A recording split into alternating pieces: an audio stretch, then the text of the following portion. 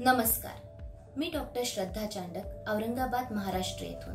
Pediatric hemato oncologist and immunologist लहान मुलांचे रक्त व कर्करोग तज्ज्ञ. वैद्यकीय क्षेत्राने आज कितीही प्रगती केली असली तरीही मनुष्याला अनेक असाध्य आजारांमुळे मृत्यूला सामोरे जावे लागते.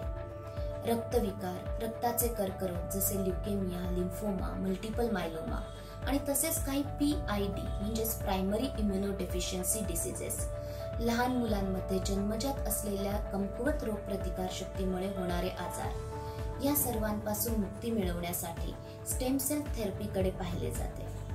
या उपचार पद्धतीबाबत अजूनही काही डॉक्टरांमध्ये मतभिन्नता दिसून येते. तरीही सर्वसामान्यांसाठी हा नवीन आणि कुतूहलाचा विषय आहे. तरी आज आपण याची माहिती जाणून घेऊया. सर्वप्रथम स्टेम सेल म्हणजे काय? स्टेम सेल्स म्हणजे शरीरातील मूळ पेशी. ह्या पेशींमध्ये स्वविभाजनाचा आणि पुनर्वाढीचा गुणधर्म असतो. ह्या मूळ पेशी कोणत्याही प्रकारच्या नवीन पेशी निर्माण करण्यास सक्षम आणि समर्थ असतात. स्टेम सेल्स या प्रसूतीच्या वेळी मातेच्या गर्भनाळेतून रक्त किंवा अस्थिमज्जा म्हणजेच बोन मॅरो मधून प्राप्त करता येतात. हे मिळवण्याचा पहिला आणि सर्वात चांगला मार्ग म्हणजे मातेच्या गर्भनाळेतील रक्त म्हणजेच अंबेलिकल कॉर्ड ब्लड ज्या पेशींच्या अभावी रुग्णाला असाध्य आजार जडलेला असतो किंवा ज्या अवयवाचे नुकसान झालेले असते तेथे स्टेम सेलचे प्रत्यारोपण करून यशस्वीपणे उपचार करता येणे आता शक्य झालेले आहे. स्टेम सेल बँकिंग म्हणजे काय?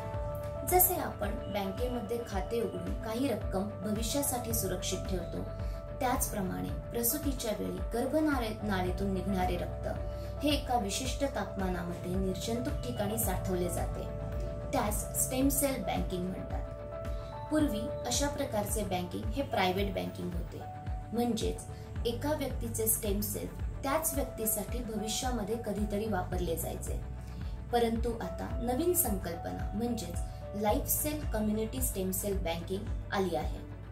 या प्रकारच्या बँकिंगमध्ये पालक आपल्या बाळाचे अंबेलिकल कॉर्ड ब्लड हे लाईफ सेल बँकमध्ये साठवतात आणि कम्युनिटी ग्रुप जॉईन करतात. काही बेसिक तपासण्यांनंतर अंबेलिकल कॉर्ड ब्लड हा कॉमन पूलचा एक हिस्सा होतो. हे साठवलेले अंबेलिकल कॉर्ड ब्लड समाजातील कोणतीही व्यक्ती कुटुंबातील सदस्य आई बाबा आजी आजोबा भाऊ बहीण हे एच एल ए मॅच झाल्यानंतर वापरू शकतात.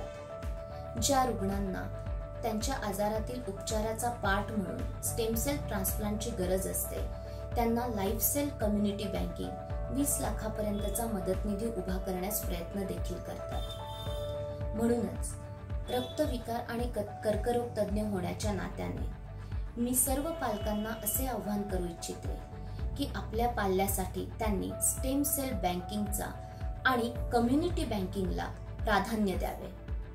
थँक्यू धन्यवाद.